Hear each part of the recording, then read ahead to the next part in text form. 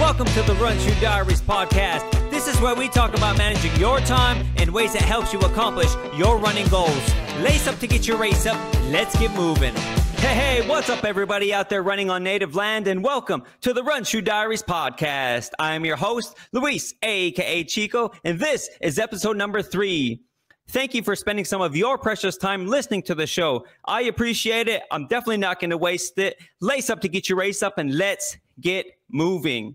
We're at the starting line with this episode's guest, and he is definitely one of the leaders of the new school when it comes to endurance running.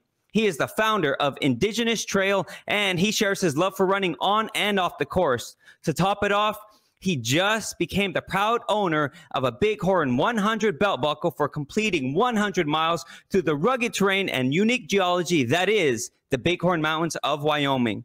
It is with great honor that I welcome my first Indigenous guest to the Run Shoe Diaries podcast, Mr. Scott Flatlip. Welcome to the show, my friend. Hello. Glad to be here. All right, man. So you're on the show that doesn't like to waste time. Go ahead with your introduction, my friend.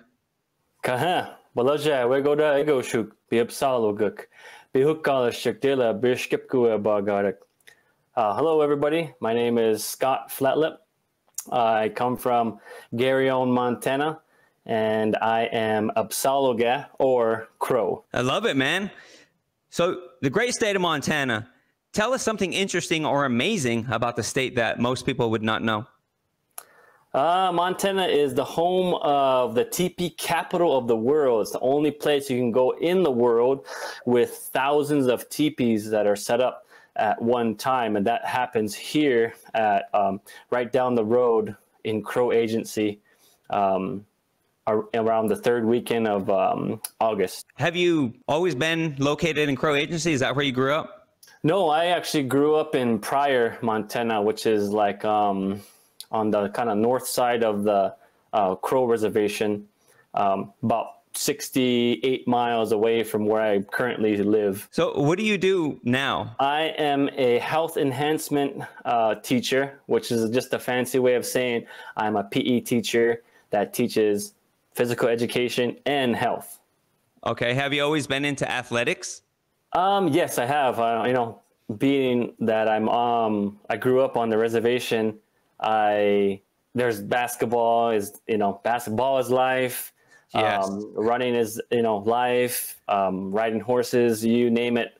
Um, as far as being athletic, football, that were the ones we mainly played: basketball, running, cross country, and track, and that was pretty much it. So, so you just hit on something that I wanted to eventually get to, but you talked about basketball being life, and so I live down here in Texas. And when I try to mention that to them, like they just don't get it. Like, mm-hmm. it, no, basketball is life. And like I try to explain it as much as I can till I'm blue in the face and they they don't think it is. Can you kind of elaborate on that, on how basketball is such a staple in our athletics on the reservation? Yeah, so like how Texans have uh, football as the way of life down there, and how the whole town goes out to watch the football games and they just support the football teams to the yeah. max.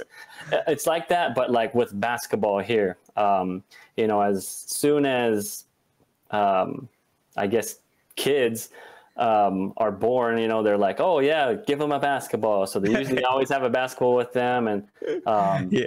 yeah, I mean, it's just uh, it's just something that's a way of life. When when I when I say a way of life, I mean it's like there's a lot of people who play basketball on the reservation. Yeah, yeah. I mean, you're going to be playing basketball. Yeah, it's it's just something that happens just about every single day. Uh, if not, then there's tournaments, and then if there's not tournaments, then there's you know pickup games, and then there's the street ballers, and then there's yeah, oh yeah. So it just kind of yeah. goes on. So let's let's kind of revert back to reservation life. Do you have any siblings? I do. I'm the youngest of five. Wow. So being in athletics and being the youngest, probably had a lot of competition. Uh, yep, yep. So, uh, yeah. So for me being the youngest, I had to pretty much fight for just about everything. I had to fight for scraps. I had to fight for um, to be heard. I had to fight to be the the best, which oftentimes when I was younger wasn't always the case. I was always the um, oh we don't want to pick him or let's Yeah. just leave him home or and so um, you know it was always like that growing up. Yeah, I definitely feel that because I was I'm in the same boat. Well, I, I don't have any siblings, but I mean you know as well as I do, your your cousins Yeah, extended are family. Yeah. yeah yeah. So I was the youngest out of everybody, and I was in the same boat as you. So w- with your work schedule, can you kind of hit on how you train because you have such a great resume as a runner. It's very very fulfilling. Can you kind of fill us in on all these ventures that you've been on uh, from adolescence to now? So adolescence, my my dad was uh, pretty big on having us run when we were little. Okay. Um, he had a his philosophy was that if we ran, if he had us run when we were younger, that maybe eventually we would become Olympic athletes or something like that um, when we were little. So he kind of had that had us go through um, AAU, cross country, USA track and field, um, and so at a young age, I think like we started, or I started when I was like six, six years old or so. Oh man. um, and it, that was just by by like kind of like accident. You know we went to a race for my brother. Yeah. um, i was like hey i want to i want to do this too. And it wasn't a very good race for me but um, that was the start of it. And then throughout that time it was just we always ran in the fall the winter the spring and then the summer and every year i would always be like I wish we could just stay home and I wish I could play with my, my friends and my, my brothers and Yeah. uh, stuff like that. And so then through going through um, leading up to high school, I mean, I again, I hated running. I was like, Yeah. basketball was my thing. I, I, I thought my, I thought basketball was my thing, but yeah. uh, so going through running in high school, I never, I hated it. You know, my brother was the superstar, had to be in his shadow. Um, you know, it was just like, oh, I'll just do the bare minimum. And, um, you know, I would, I would lie to my dad and say, oh yeah, I ran at school. And he would say, oh no, if you, if you ran, then you, and you're in shape, then you should be able to run, uh, three miles easy then. It- Yeah. Go. And so he would take me and I'd be like, ah, all right. So we would go. um, and so that was pretty much my I mean my experience growing up. I mean, it really wasn't. I I'm again, I really wasn't into running it. In fact, I hated running with a passion. Yeah. a- after uh, your academic years, how did you keep going with running? It was just always something that I mean, again, it was something I did since I was a little kid, and then so it was always it was always there. Like I would I would wouldn't run for so many weeks or months. Yeah. I would come back and then somebody would be like, "Hey, I'm going to go for a jog. Did you? Would you want to go?" And I'll be like, "Yeah." And in college, that's what I did a lot. And then um, it wasn't until I um, graduated in, and then I was like, "Hey, you know what? I think I might want to go back to school to try and run." And that was where I was like, kind of started slowly, started kind of the beginning stages of me enjoying running. Okay. Where did you go to college at? I went to um, to run. I went to MSU Billings, and I was the only Oh, walk on at the time. Yeah, Oh, nice. I went to MSU. Well, I started at MSUB, did my first year there, and then uh, was off to the army. yeah. yeah. so tell us about running at MSUB. Uh, I, I was the only walk on. Um, I was the Love it. only. I was the only native on the team. Um, Yes. and so you know, I mean, I didn't train in the summer at all. I pretty sure I started like two weeks before our first practice. So I was like, I was kind of into the running thing, but I was Yeah. like, wasn't. I was still was like halfway in between those worlds where I was like, ah, I don't really want to run. I Yeah. yeah, I kind of want to run. Ah, we'll just see how it goes. And then I just went. And um, but it was good. It was a good experience. I had good teammates. I had a good coach. Yeah. Um, I improved a lot during my season, um, and there was again, of course, I guess with with any um, student or any human, I guess there's challenges and there's obstacles and there's Oh yeah. certain things. And then me being a Native American, there's you know discrimination, racism, you know those Yeah. things that you go through throughout your whole life. You know, so Oh yeah, definitely. so we went through all those and then um, i improved a lot i was i at the end of the season i got um, a little a little coaches award of, of uh, most improved uh, on the team which at the time i was like ah, it doesn't mean anything to me you know Yeah. and so uh, later on then i'm like man i wish i would have i wish i would have grabbed that award Yep. because now i'm like god that would have been nice to hang up in my in my office or in the house or somewhere Yep. you know Yeah, definitely. Hey, uh, so is there any person that motivates you or inspires you to keep running, or or has inspired you from at a, such a young age?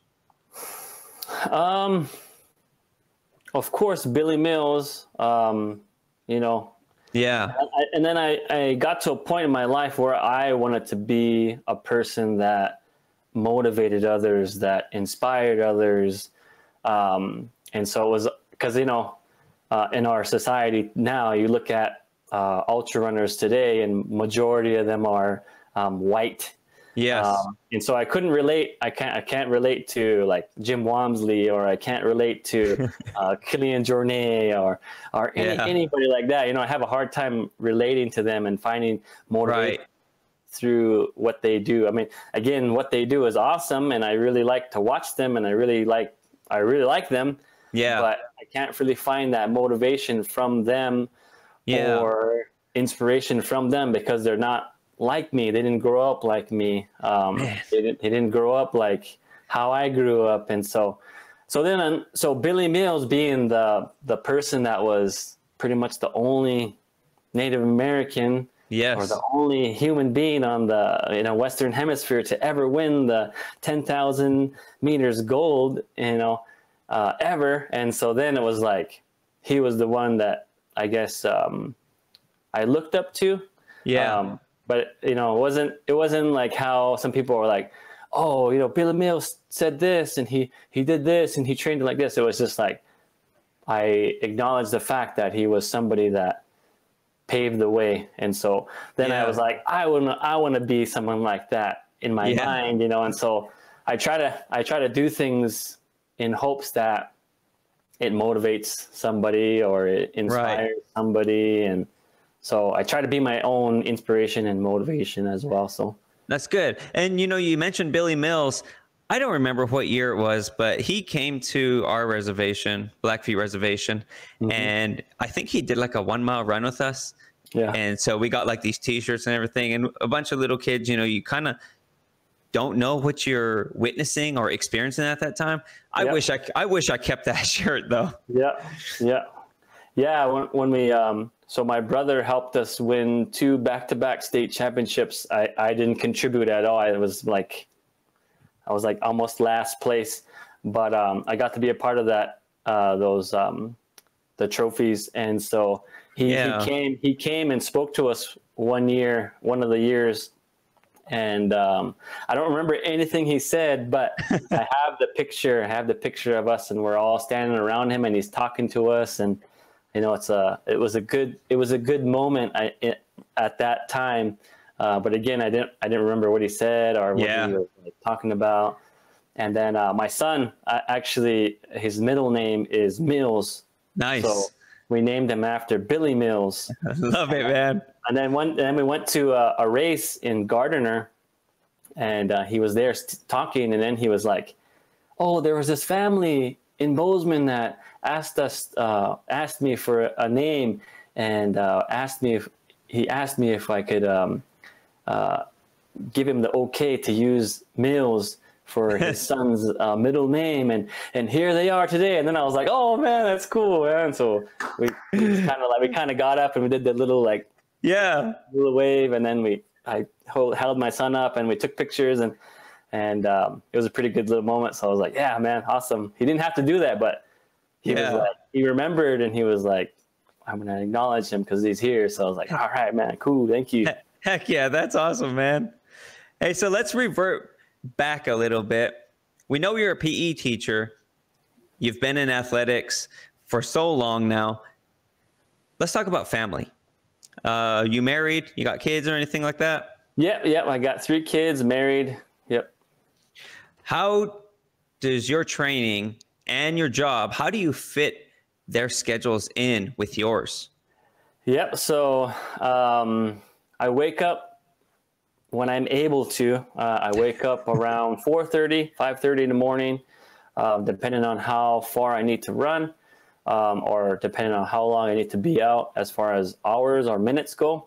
Okay. And then I'll, I'll do so. My my um, time is anything uh, before seven. So as soon as seven o'clock comes, um, I finish up. I get ready, um, and then I kind of help the kids get ready. And then when there was no COVID, I would get them up for the bus, and then yeah, then they go to school. I go to school, uh, which is kind of funny because they don't want to ride with me. They want to ride the bus because we go to the same we go to the same uh, town where we have the our school, and so yeah, they, they like to ride the bus. They don't like to ride with me.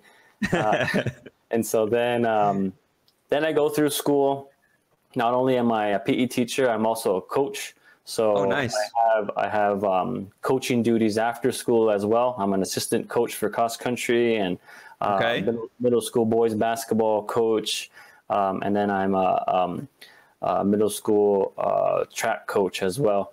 Oh, wow. So, and so my my year is pretty yeah. pretty busy. I think the only time I have extra time, extra time is Quote- um, Quote unquote. yeah is um, in October, end of October. So once October is done, then I'm like I get home right at like around four four thirty ish, Yeah. and then I have like that extra time to go out and do more things. So when I'm coaching and I'm in the season, I'll either run before school and after I get home. So it Okay. just- again, it just depends depends on the mileage, depends on the week mileage, depends on how many hours I need to be out. Um, so I've really, and that's when I first started really enjoying running. I Yeah. I made it a point to run early. Um, it was a, a little sacrifice that I felt was important for my children's um, lives and my wife and everybody who was around me at the time. Um, I thought it was very important to get that time done right away and then have Oh, to yeah. after that. So that was how I kind of started, and then I just kind of nowadays I'm kind of like modifying things here and there. Right. and I'm changing mileage here and um, making sure with you know it's a lot of communication with my wife because my wife Oh, is yeah. also um, I, I jokingly say she's my um, manager, but she she really is like she really does a lot of the managing things for my races, for my Wow. my nutrition, my uh, my fueling. Um, so she's she's a pretty big important part of my what I have created for myself today. So That's awesome. I love that. Way way to keep it in the family and keep everybody involved. You know, I mean, I'm a big advocate of having your family by your side, and I can see you're doing the same thing. So I'm right there with you, bro. So let's talk. You said nutrition. Do you meal prep at all? I mean, because I see you have a very heavy schedule. Do you meal prep, or you just how do you how do you get it, get around that? Um, not no. I, I mean, I I probably could benefit from meal prepping. Um, if anything, we probably meal prep from leftovers from the night before. Yeah, and then go definitely. there, but not really. We my wife is pretty much um, again she's the nutritionist, I guess, in my my training. Um, and then there, and then there's some days where I'm like, hey, you know what? I'm I'll make this if you make this, and then we kind of go back and forth. And so um, not really. We don't really have a lot of meal prep. Okay. But we do we do know what I can and can't eat, um, and we know that there's um, things that I really do enjoy, and things that she kind of has to keep away from me. Like anything with huckleberries in it, it's oh it's man, that's me over. too. Over, That man. is me. It is over, man. If you have anything huckleberry in front of me, it's Yep. it's over, man. I'll eat I'll eat it up. There's no no chance at all. You know, So- it's it's crazy. Down here, we get blueberries, so I kind of have to revert Oh, yeah. to that. But Yeah. as soon as I get to Montana, man, it's just Yep. huckleberry, everything. And Yep. uh, my favorite uh, gel, uh, uh, is the Hammer Nutrition. Uh, yeah, Hammer. Yeah, that's right. The the Huckleberry Montana Huckleberry one. All right. So, do you cross train at all? Um, not specifically, but Okay. I do. Since I am a PE teacher, there are days where I um, do a lot of um, demonstrations with Okay. the workouts that we do. So I'll, I'll go through the workout with them, um, and I'll do a little demonstration. And so I do that throughout the whole day. Yeah. Um, like so you kind of are. repeatedly every single like period. So then it's like after a while, yes, it becomes uh, uh, I guess a form of cross training. Um, there are some days where I do um, like a circuit, like a core circuit or like a leg uh, circuit. So uh, as far as cross training, that's pretty much as good as it gets for me. I mean, I do understand and know that I probably can benefit from uh, a, a, a strict uh, cross training schedule, but Yeah. with my with my already busy schedule, yeah. it works for me to do what I can here and there. So All right. So let's talk about what is your favorite race distance and why? my favorite, I guess, is 50 mile, and then my second would probably be a 50k. Um, I am pretty new to the um above 50 mile distances, so um, I think I like I like the 50 mile because I with where I'm at right now, I'm I'm uh, somewhat fast. Yes, you are. Yeah, so So, you know, so uh, personally, my favorite is the 50 mile as well. And the reason it is is because you can get a full day's work. You can get your body to that that point of you're like, what the f am I doing here? and then, you know, uh, you can you finish before everybody else, and you can help. Uh, you can celebrate. You can help at the aid stations. There's a lot more you can do on the other side of running. Yeah. And so that that's why I like it. And then you still get the soreness for the next three, four days. Yeah, So yeah, that's personally that's why what I like. But uh, you said you're fairly new to the above 50 mileage. Is there any nutrition products that you like to use during the uh, your competitions? yeah, I do. I really enjoy um, Tailwind Okay. Uh, that's that's my go-to right now. Um, I have used uh, other things before, but um, my favorite thing to use right now is Tailwind because it's um, pretty much everything you need. You don't need to have gels. It's just you know water, Yeah. and then mix it, and then that's pretty much pretty much it. And so it's easy to pack and uh, it's easy to carry, and so I like that one a lot. Do you use Tailwind during training periods as well, or only during competitions? Um, I'll use it. I'll use a little bit of it during training periods, uh, just to get my body used to um, working off of that fueling Okay. and nutrition. And so then just to make sure you know everything is going right, because if it, I mean, with running, you know, you never know, your body could reject something. And you Oh have to yeah, move to Plan B and go from there. So yeah. Pretty soon it ends up to um, Plan C. yeah, yeah. So with the uh, Tailwind, how much do you use per mileage? I guess uh, I, I'm I'm new to this one. So I use one packet, one little packet. It's about 200 calories per Okay. packet. Uh, I use about 16, 17 ounces um, water, um, and I do one of those per hour of activity. So if I'm doing like five Oh, okay. hours, Yeah. I'll just pack. I'll pack, um, you know, three extra for Yeah. for aid station water, and then I just have two 16, 17 ounce bottles that I take with me, and so that's what I use what I use for that. So it just kind of depends. Yeah. The distance and stuff. So Do you have any other hobbies other than running? not really. I wouldn't say I have a lot of hobbies. My biggest hobby is running. Uh, other than that, it's just you know, It's- I- it's work. Majority, majority of my time either goes to work or my family. Same here. So, what is your favorite shoe to run in, and why? Ooh, that's a good one. Um, I used to be really into Nikes, but uh, as I made the transition into uh, longer distances, I go with um, uh, Hoka's right now. So that's what I'm currently running in is the Hoka Speed Goat Evos.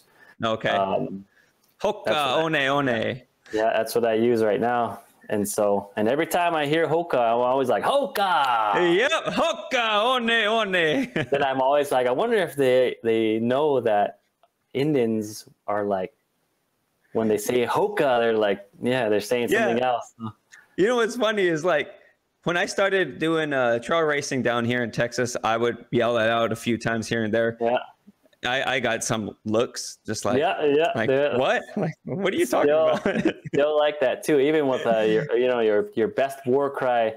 yeah, People are like, they they look at you like, you're being too loud, and we're like, "Well, yeah, we're in the mountains, and you know, there's, you know, like our people were in the mountains, so it's not like it's disrespectful. It's if anything, it's like, yeah, you Oh. know, we're we're still here, you know. yeah, definitely.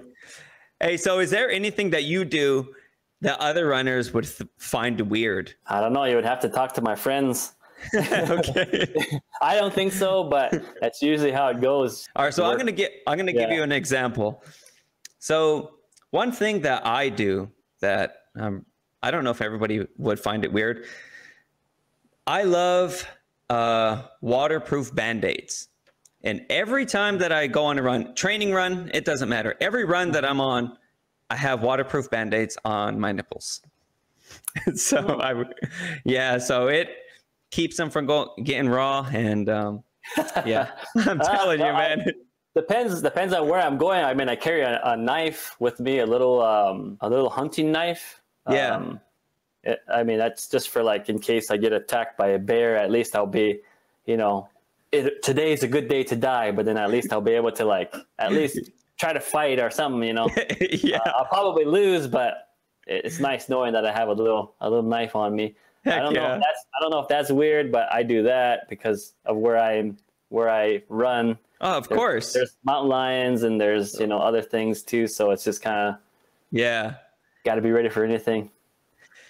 All right, so let's move into Indigenous Trail. We know that that is your Instagram handle, but can you tell us the purpose behind Indigenous Indigenous Trail? Yeah. So I talked about it uh, early when- earlier on. Okay. Um, just not being able to relate with any any non-native um, stories. You know, not being able to um, find motivation from Jim Walmsley or you know any of them like that. And so, Yeah. um, you know, I saw Verna. Verna was doing um, Native women running, and she Yeah. was highlighting um, n- Indigenous women who are these, you know, these awesome, amazing women who do everything. It seemed like. And I yeah. was like, man, it'd be nice to have something like that for like trail running or just anything, you know, Right. because then we don't see that a lot. And it was right around that time where it was like people were just now slowly kind of like, hey, you know, why are we not being invited to the table? You know, we're still here. We're indigenous. We've run for thousands of years. Yeah. Uh, and uh, so then I was like, hey, you know what? Uh, I I listened to a podcast uh, that she was a, a part of, and I was like, I'm just gonna do it. You know, that's what she did. And so yeah. I, I kind of chatted with her a little bit, and I was like, what do you think? Do you think I can do this? And she kind of gave me some tips here and there. Then I went from there, and then the idea behind it was highlight natives and indigenous people that are from our area, and then in hopes that people would be like, hey, I didn't know they had a story like that. That's pretty Yeah. cool. I, I'm in that same situation, or hey, I've struggled with that same thing, or Yeah. um, and then they they're like, hey, man, this guy's doing it, man. I I probably can do it too, you know. So that was that was my my intention, and then I, I had no idea what it was going to become. I had no idea. yeah. I had no idea what it would change into, and and so now it's it's kind it's kind of its own thing. It's still it's still in between what I started and and, and what it is now. Yeah. Um, but I, I really enjoy bringing different stories and different uh, experiences from all people, all indigenous people all over the world. Because they're like, you hear indigenous and then they're like, oh, Native American or Yeah. they kind of they kind of limit that Yep. that term that term to one uh, group of people when in reality indigenous is like worldwide so Oh yeah, definitely. And so that was my that was why i created it just to help with paving the way for indigenous people to see and find motivation through people who might be similar to them I, I love it. I, I'm man. I, I can't tell you. Like I found so many different uh, friends on there, and like I've through your platform, I've got to network with a lot of people as well. So I'd like to thank you for that because Yeah, you've yeah. you you've kind of boosted me through a lot of this as well. But we often see the finished product of what you work on sponsoring events promoting other indigenous runners and your own uh, ventures. But we don't get to see the hustle and grind that goes behind it. Can you give us a little bit of behind the scenes of like what it's like to do that? Because i know you recently teamed up with uh, native women running to create a virtual event. Can you kind of run us through that Yeah, so the behind the scenes is is pretty. Uh, it's not as not as exciting as what uh, people the finished product, but yeah. So I bother a lot of people. I try to get stories. Um, I, and so, uh, most times I get um, denied. I get um, um, not so friendly messages, and which is fine. You know, I mean, Yeah. everybody's busy and everybody's doing their own thing. And um, Yeah. other other times I'm like, hey, it's, I, I'd like to do this story if you could help me, and then um, that part that part's tough. That part's tough to try to get stories from people because some people they're not comfortable with it and they don't understand that maybe where they're at right now might be motivation for the, ne- the another person. Yes. And so that's the part where they don't see. And so having to explain that is tough. And um, and then getting the story i go through it I, I edit here and there i help them edit it um, i proofread it like a lot of times. Uh, i go through all their pictures i make sure that the it's the picture they want. If they need to change something i go through that. Um, and then with events that's the same thing too you know i i ask uh, a lot of people for donations um, uh, most times they get denied but i mean I'm, i've done it so much now that it's getting denied isn't as um, uh, bad as when i first started. So you know i go through that. I ask them hey this is what we're doing. We're interested if you want to uh, donate a prize. Yeah. this is what we're looking for. Uh, and then they kind of leave it at that. And then sometimes they're like hey this is this is all i can give which is perfect because i'll take anything and then other times i'm like i ask for specific running things. And i'm always like what would i like to get for prizes you know? Yes. And then um, then I give them out, and then that part's that part's pretty time consuming because it's like on top of my job, on top of my family. It's like a little thing that I have to like constantly do throughout the whole day, or else I'm not going to get anything.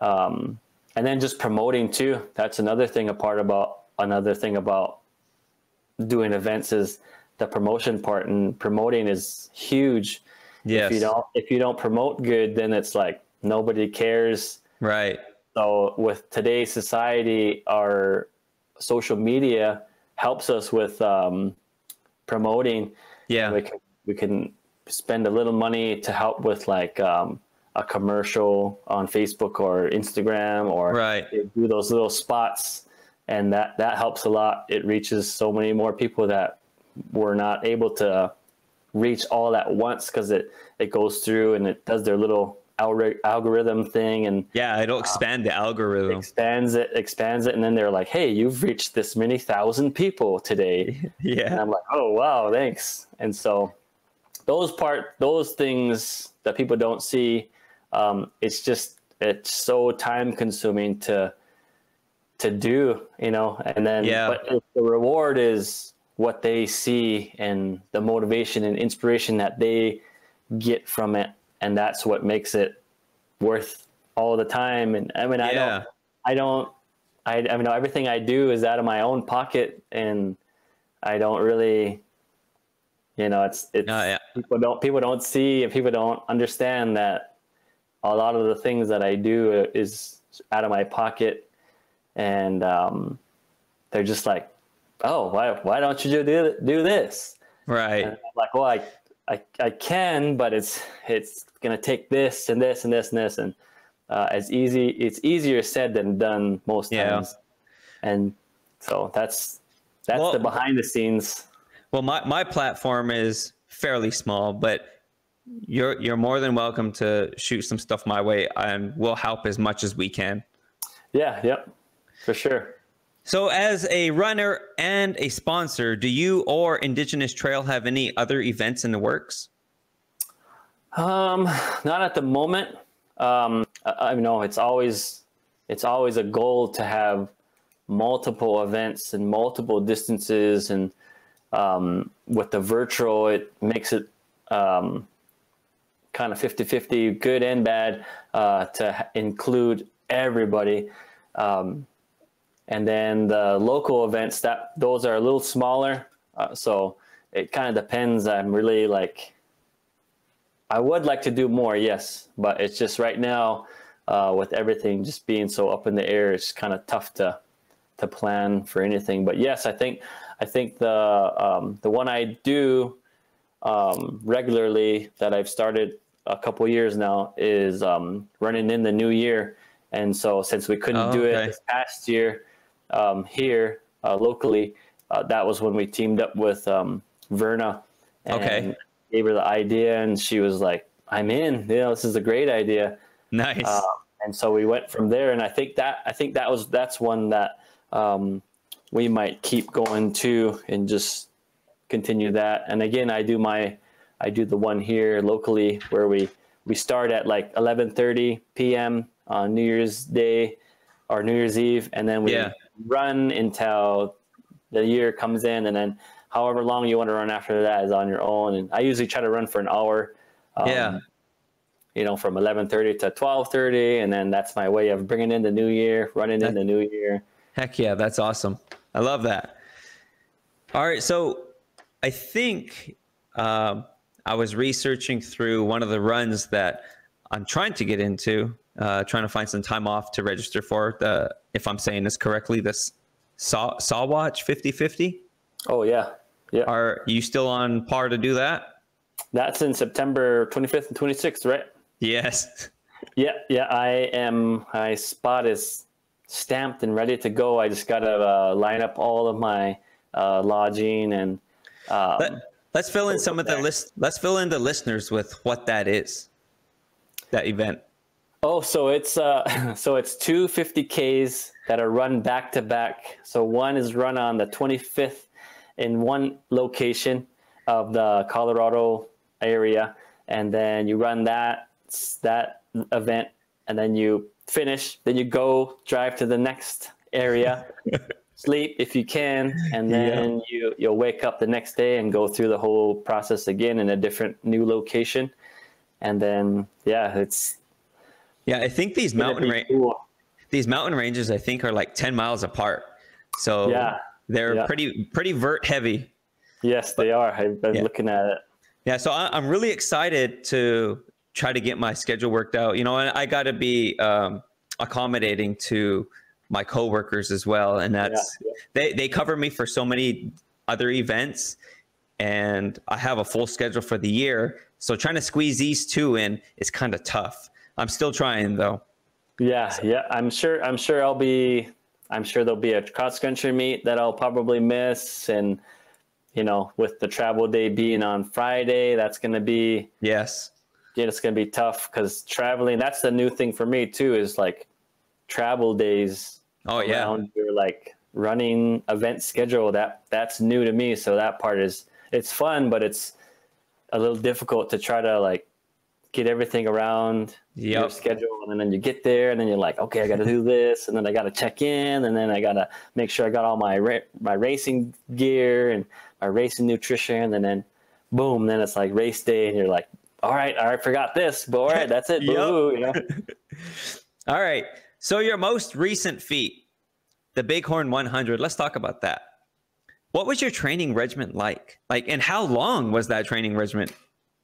So I started my training. Uh, I run year round, but I started my training around um, December, uh, around December time, and then I went from I went from there um, and just did um, yeah different runs throughout the week and then the month, and then I did a few races here and there as preparation Um, because that's what I've always done, and I feel yeah. like that helps. That helps um, me, I guess personally, some people are like, "Oh, you're racing this? You're running this time? What?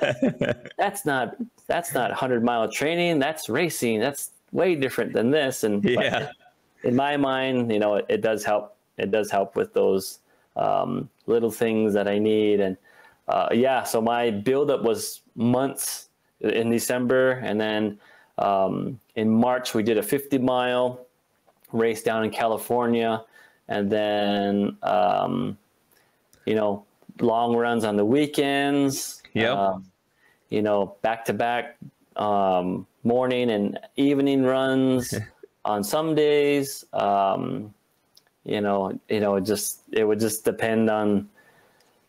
It would depend on the weeks weeks mileage and the weeks hours, and then on top of that, um, being that uh, I guess I'm in a position now where people are like, "Hey, we we would like to invite you down to our run, and we'll yeah. we'd like to sponsor your um, uh, uh, entry fee if you would yeah. come down." Then I'm like, "Oh yeah, of course, you know, for sure, I'll, I'll do that any day." So then I had those uh, little things on, on top of that, which is again a new experience, and it's really enjoyable to have people who actually want you to come down and just be a part of their events. Yeah. Which I've never I've never been in that situation ever in my whole life. And then now people are like, Hey, we want that guy to come to our run, you know? Yep. So, That's awesome, man. So that all those and then, you know, just I guess I don't know. I don't really think that my training is too spectacular, but you know, all my friends are like, well, you you you know you're doing this and you're at top 10 and you know this and you're you're running this fast so it's it must be working. So i mean but on strava i think i saw that you ran like 100 miles a week. Uh yeah i have before. Um it was in august. There was a there was a little challenge. Okay. And, uh, there was a little challenge and it was 22 days. And um uh it was um run as many miles as you can. The the the the the person who was putting it on, yeah, was just run 100 miles in 22 days. That was the that was the event. But yeah. I don't think the person knew it was going to change into something else, and I don't think the person knew that me and um, my friend Phyllis would be going head to head. And I, as I was, t- I was telling her too, I was like, "All right, just so you know, I'm gonna be racing you, and I know you're gonna be racing me. So yeah, let's let's go you know? And then um, we started and then i think i ran like 100 miles in the first five days. Oh man. And then uh, phyllis was right behind me. She was like six days. She was right behind me and it was like one day i was ahead and then next day. So 22 days i think um, we both ran over 300 miles. Oh just, just by ourselves uh, and, and so be, between me and her we ran over 600 miles together. Um, and that was just going head to head. Yeah. Well, and that's she, somehow. And she, and she and she was the one who who won it all. She. Oh. I, I was glad she won too because I was like, man, I, I I threw everything at her. If she wins, she's big time. Yeah. So yeah. And well, that's some healthy competition. That yeah, yeah. She beat me by seven miles. So I was like, oh man. Uh, let's see. So back to the big Bighorn 100. Um, was is that course? Is that a, a loop or is that out and back? No, it's a out and back. You you start out um, running out 48 miles, and then coming back, you they extend the um, finish 52 miles. Oh, so okay. once you get to point uh, B, you go back to point A, and uh, okay. yeah, there's a lot of climbing. There's a lot of um, there's a lot of good views. There's a lot of yeah, you name it, there it's there. Yeah, I I was looking at the map, and the vert alone was like twenty thousand feet like, uh, over the uh, course. Yeah, I think it's like um, closer to like sixteen uh, on, on okay. the watch, but yeah, it's there is a lot of climbing. Like the first section is like 13 miles of um, just up. You just climb straight up, and so. Um, what what was the uh, was there a cutoff time? Um, I, yeah, there's cutoff times. I, I wasn't worried about cutoff times. Me, Okay. so I wasn't really like focused on the cutoff times. I had, I did have my own personal um, times that I felt uh, Yeah. I I could kind of like shoot for, Yeah. and um, I had a couple A, B, and C goals. And so then uh, I kind of went from that. I just kind of based it off of that, and everything was calculation from then like it was like my crew my basically my brother my brother was like all right if you come at this time we will expect you at this time okay. and uh, and then it was like yeah so it was fun it was it was uh, quite the experience. Did you uh, run that one solo or did you have a crew? i had a crew. Um, i had no pacers though. Uh, Okay. all my pacers uh, they were like oh you're gonna be too fast. You'll be you'll be way too fast for us we're not gonna be able to keep up. Then i was like i don't think you understand my like m- my pace is gonna be anywhere from 12 minute mile to Yeah. 20 minute mile. Um, and i was like on the climbs it's gonna be 20 minute miles on up. So it's Yeah. like i'm not going to be going i'm not going to be setting any course records anytime soon. So, but everybody was like oh no you're too strong. Yeah i'm just going to have to find someone who's who's faster and stronger than us. So i was like ah i'll just do it alone i guess since i know the Yeah. course. So i was by myself as far as running i was by myself but i did have a crew. You uh, you talked about earlier about tailwind. Is did you use uh, tailwind on this one? I did. I used Tailwind and I used uh, Spring Energy Energy Nutrition.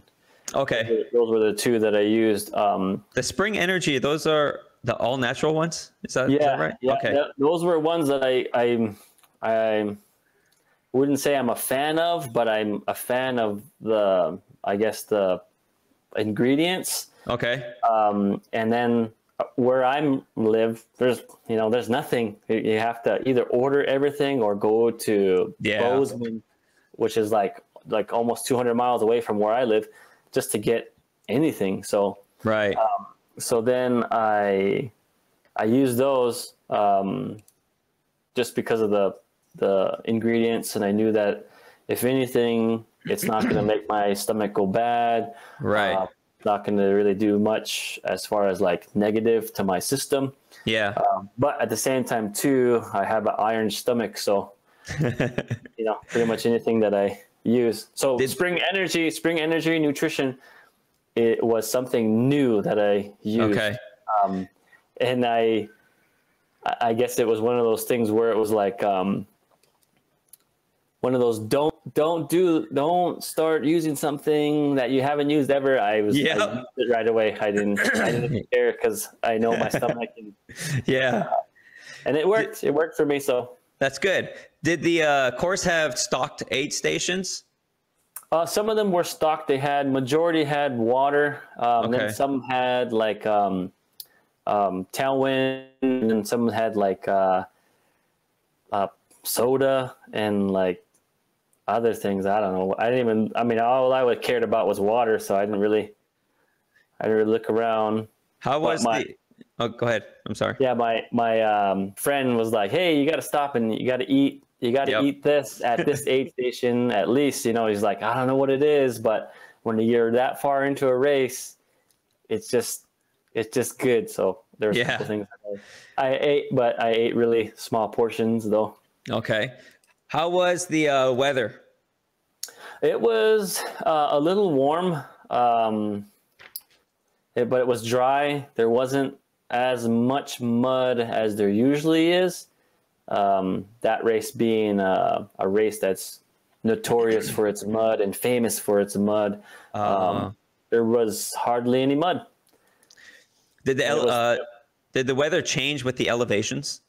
Um, yeah, it did. So the we started at the bottom. It was probably like I don't know, seventy-five ish. Yeah. and then through the canyon it went up to like 80s and then once we got up to the top of that one it dropped down back down to 70s and then the further we went it went it just dropped down and I think the coldest it got was around like 40s. Okay. So it wasn't wasn't too bad, but it wasn't to a point where it was like freezing cold. Like in some years where it snows and rains and Ooh. you know everything. So Yeah. we were, we were pretty lucky. I guess pretty lucky this year to have a pretty dry um, year. Did you use uh, drop bags at all? Like, because you talked about 40 degree weather. Did you have to? Yeah. Yep, yep. So in the past, um, that race, they have a requirement that you need to have rain pants and rain uh, gear Okay. in at least one of your drop bags. Um, this year, they were like, doesn't really matter what you have in it. Uh, they asked, they did ask us uh, optional to bring a long sleeve and a, um, a jacket, uh, a rain jacket or a wind jacket to have. And so um, it wasn't required like in like Okay. some years they're like they require you to take rain pants and Okay. rain jacket and a, a poncho. Oh, okay. We lucked out. Well, congratulations on the finish. I mean, Yeah, uh, thanks. is this your first 100, 100 mile finish? Yep, this is my, my this is my first attempt and I finished it and that so I was pretty excited. Congratulations. Uh, tell us about that feeling when you're crossing that finish line and you know you're done and you have accomplished your goal. Give. Tell us about that feeling. Oh man, it's like a I don't know, it's like an out of body experience. The way I can explain it, like almost like um, kind of like a movie.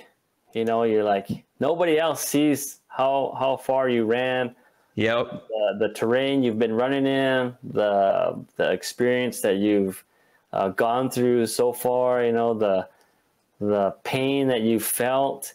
Uh, all they see, all they see is the start, hey, everybody's going, yeah, awesome, yeah, woo, see you later, yeah, good luck, yeah, and then Yeah. then we're in the race. Nobody sees us until uh, aid stations are where we can meet crew. Yeah. And then when you come back, same thing. You know, you know, you, you get to that point where like you're hurting, feet are probably blistered. Uh, Uh, yeah. you know, your legs are um, beyond tired and maybe sore or whatever it might be. And then you get to that finish line, and then you're just like you're you see the finish line, and you can, you're running towards it, and then all these different emotions go through your mind, like you know, you get really emotional, like oh i did it and then like all of a sudden you're like really happy like oh man yeah I did it. Yeah. Awesome." and then you like get, you get to that other stage of like yeah you know i yeah i did it you know awesome and then you move into another uh, you know you go through all those uh, emotions and uh, but it's just it's a really good moment and uh, crossing that finish line you're like feel you feel almost i guess feel those with you or you feel Right. that closeness with the creator or Oh yes. it's some one of those experiences where you have to go out and experience it for yourself because my experiences is it might be different than what you've experienced and Right. All of them are unique in their own way so It's an amazing feeling, right? it is one of the probably one of the good moments in in one's life to finish uh, a pretty big race like that. The part that I really enjoyed was once I crossed that finish line and I I was made sure I was present because I, I didn't want to like let that feeling go and eventually it goes away you know you know after like your body starts to hurt and yeah. feel, you start to feel, you know, a, a blister or something on your foot, or Yeah. like a little twinge on your foot, or your muscle Yeah. aches a certain way. And All so, all that adrenaline just goes away and hey, pain, what's Yep. up, man? You know? Yep. So what was your recovery like? Oh man, my rec- my recovery was pretty scary. Um, that Sunday, I was Yeah. I woke up. I was the first one up. I was like ready to go. I was walking around. I was sore, but I wasn't bad to the point where I was like, I've run some 50 mile races where I was like, I couldn't walk for like a, a couple of days. Yeah. Uh, this one was scary because I was like, I felt scary good. Like if I would have ran, I probably could have ran on Sunday. Um, so I took a day off. I took, I you know, I gave myself a week. I told myself I would take one week off of no running. Um, Yeah. As much as I want to run and as much as I'm chomping at the bit, um, I, you know, I, I put that that little limit. I said, hey, you know, give yourself one week, and then after that Monday, then you can do whatever you want. Um, Yeah. So the first few days, um, I was a little bit sore in my calf area, uh, Yeah. and my butt, my butt area. My arms, my hands were sore from using my trekking poles. Yeah. Uh, my shoulders were sore from my pack. Um, you know, after carrying it for so long, it you know your pack your pack eventually gets heavy. Um, Yeah. Didn't lose any nails. Good. I had two small blisters on the back uh, outside of my um, heel, wh- Yeah. which it wasn't to the point where if I put pressure on my foot, I couldn't like walk. So it was like, it was in a good spot. It was a good, you know, there were two small ones. So it was like, I was like, man, is this, if this is how it is to run 100 miles, man, sign me up for another one. Cause like I said, I've run 50s where I haven't been able to run for yeah. like over the whole week and so uh, just been kind of relaxing um, just doing a lot of movement uh, they call it active recovery so Yeah. um, going outside doing small little tasks outside playing with my kids uh, playing with their dog Yeah. uh, nothing nothing too exerting yeah did a lot of swimming Hey, so I saw in your pictures you were uh, sporting the uh, Mountain Ultra tech Yeah. shirt. So tell us about that. Yeah, so I um, I'm a part of that team, Mountain Ten, um, and uh, they gave us some pretty sweet shirts. And so I used I used that shirt. I used a, a long sleeve uh, cooling shirt. So anytime that it gets wet or sweat gets on it, it Yeah. anything- any, any kind of breeze that hits it, oh man, it, it cools you off. And so I use that underneath it. Um, and uh, yeah, it's a pretty good little shirt. I was I was surprised. I was like, I pretty much did everything you're not supposed to do when it comes to running uh, at hundred miles. I guess you know. I, yeah. I didn't train in that shirt at all. I think he sent it like a couple weeks before the race. Yeah. um, I didn't use it. I only used it like one time um, to run, and it was a race. Yeah. And uh, I won that race, and then um, and then that was when he was saying, "Oh, these shirts are DNF proof." So I was like, "Oh no, Oh man. maybe I shouldn't have wore this shirt just in case you know something goes bad." But it was yeah. shirt, you know, what I mean, That's uh, good. I really appreciate everything that he does. You know, he's trying to di- diversify uh, the start lines, and Oh yeah, you know, definitely. that, I was like, man, that's that's what I've been trying to do. You know, Yeah. uh, so that's you know, I'm glad to be a part of that team and look forward to everything that comes with that, man. All right. So, is there anything that we've missed, or is there any subject that you want to revisit and elaborate on before we move on to the next section? No, that was that was good. Thanks, man. That's Oh heck good yeah! questions. Good questions, man. So here's a little something that uh, I think you would appreciate. So I'm going to give a shout out to the Gas Cap Runagades. Uh, they have an indigenous podcast, and they are 40 episodes deep. The next section is inspired by their format. So thank you, Levi and Jason, for that. Y'all be sure to check out the Trailcast available on all podcasting platforms and be sure to like and follow them on Facebook and Instagram. Keyword search the Gas Cap Runagades. This next section is the five to stay alive. These are the questions that I ask every guest about themselves and what keeps them going. Scott, are you ready to answer the five to stay alive? Let's do this. All right, here we go. Question number one Do you run with or without music? Both. R- walk us through that and give us one song to add to the Spotify playlist. So if I'm doing big races, I like to use my hearing to hear people around me, behind me, in front of me, um, and that's big with my racing. But as far as training runs go, there are some days where you need that little boost. Yeah. Um, or it's just just background noise too. You know, I mean, sometimes running in the dark, Yeah. um, it, it's a lot better than hearing a lot of coyotes. uh, one song, uh, let's see. There's a lot of songs, but uh, EPMD uh, Symphony 2000. All right, we're going to get that on a playlist, and that is your song. Question number two What competition or race is on your bucket list? I really don't have a bucket list, but uh, of course, Western States, Hardrock, Leadville, and Crazy Crazy Mountain 100. That was one. That was one that I've always. Every time we've driven by there, I'm always like, man, one day there'll be a race there and I'm going to run it. And then sure enough, boom, you know, so that's, You get, are you going to run that one? I am, I'm in there. Yeah. Oh man, that's gonna.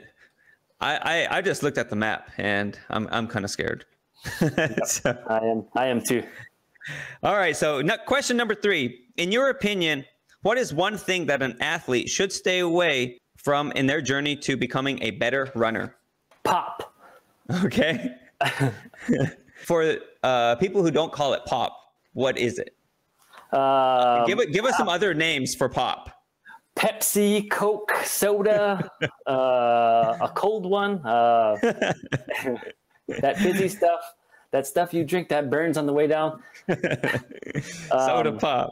Yeah, I mean, I, I used to drink pop, and then uh, a couple years ago, I just kind of kind of just gave it gave it up. I Yeah. you know, it was just something that I was like, you know, I can let this go now and Yeah. uh, let it go, and I've had a lot of success without soda or pop. So how long has it been since you've had one? a couple years, uh, three three years Oh now. wow. Yeah. Well, that's awesome, man. So I'm gonna start staying away from soda, Yeah. just so I can be, just so I can be like you. yeah. All right, number four. Finish this statement. When it comes to long distance running, Scott cannot leave the house without his. Shoes. I like shoes a lot. Yeah. So everywhere I go, I have a pair of shoes in my truck or my car. There's Okay. always an extra. There's always an extra pair of running shoes. Um, I, I like to say I would like to say my watch because it's pretty much on me from the start of the day to the end. But I've run without my watch before and haven't felt the guilt. Uh, Okay. I, I I don't like that feeling of like getting to a place and being like I should run and then going and Oh, not yes. having shoes. So Yep. Or this is question number five. Do you have a running mantra? I do. Mine's mine's a little different than I guess everyone else's. Okay, go ahead. Um, Awego da ego speak. Be up saloguk. Be hukkalishik. Dele be bagarik. Um and then I just I go through that over and over and over. I, I love that. Can you translate that for us? that just you know lets people know who I am, my Yeah. my, my name, who I am. Um, I'm a I'm an Absaloga, uh, Crow, uh, and then my my clans as well. So I say my my name, which my name is my my Crow name um, is uh, seen by the whole world, and so I say Awego da Igo speak. I am seen by the whole world uh, Biep I am Crow.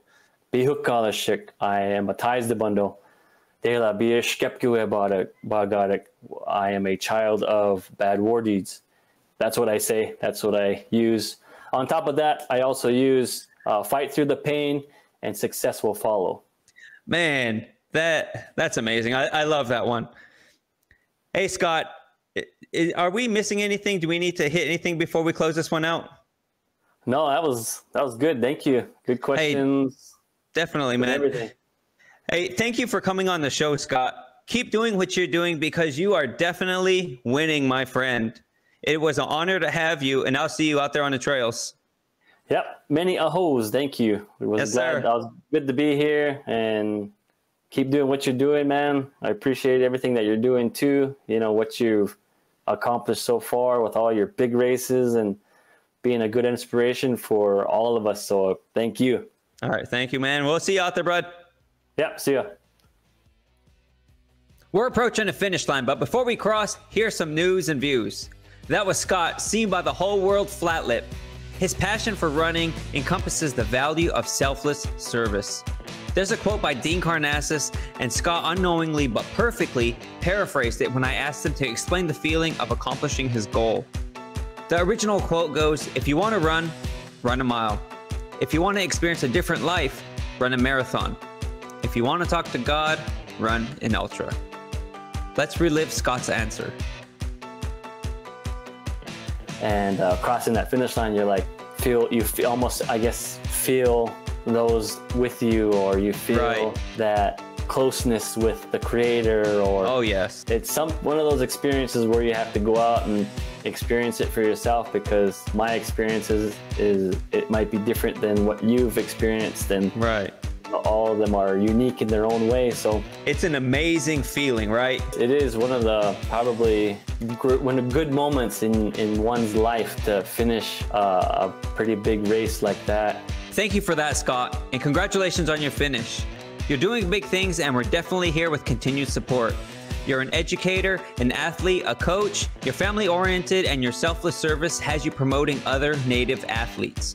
You're sacrificing your time and money to sponsor events, all the while you're making time to accomplish your own running goals. To top that off, it's only three days past your 100 mile finish, and you traveled home and made time to be on this podcast. Give yourself some credit, my friend, because you definitely deserve it. You're awesome. Keep doing what you're doing, it's working, and we can all learn from it. This last thank you is for incorporating your culture into this episode. It is most definitely appreciated. I'll see you on the trails, my friend. I'm not crying, you're crying. Next, we launch a store. It's kind of overwhelming at the moment, but we're staying with it. We haven't officially promoted it because we only have stickers available, but that isn't stopping y'all from buying. At this rate, we're gonna have to restock the store before we officially launch. But after we launch, we plan to have shirts, sweaters, stickers, runner's journals, dog bandanas, and my favorite, travel coffee tumblers.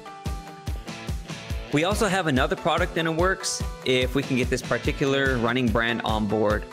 All the products will have the Run Shoe Diaries logo on them in some shape, form, or fashion. I have roughly eight t-shirt designs that I'm messing with at the moment, and we're not sure how we're gonna put them up just yet, but some ideas that we have are limited prints or seasonal selling sessions. Regardless, stay tuned because once the samples come in and we have a better understanding of the process, the products, and the quality, we're gonna fine tune the store. The store can be found through the Run Shoe Diaries Facebook and Instagram pages. The link is going to be in the bio. And you can search us on Shopify. Look for Run Shoe Diaries. Check out the shipping bags that we have. Uh, these alone get me excited. And if you're listening to the podcast, come on over to the Run Shoe Diaries YouTube channel and check those out. With that, we cross the finish line. And if you have any questions, comments, concerns, guest recommendations, you can contact me at runshoe.diaries at gmail.com. Again, that is runshoe.diaries at gmail.com. Be sure to follow us on Instagram, Facebook, Twitter, and YouTube. Keyword search Run Shoe Diaries. Thank you for listening to the Run Shoe Diaries podcast, episode three with Scott Flatlip. Until next time, remember that with each step comes the decision to take another. So keep putting one foot in front of the other because it's amazing what you can do on your own two feet. I'm out.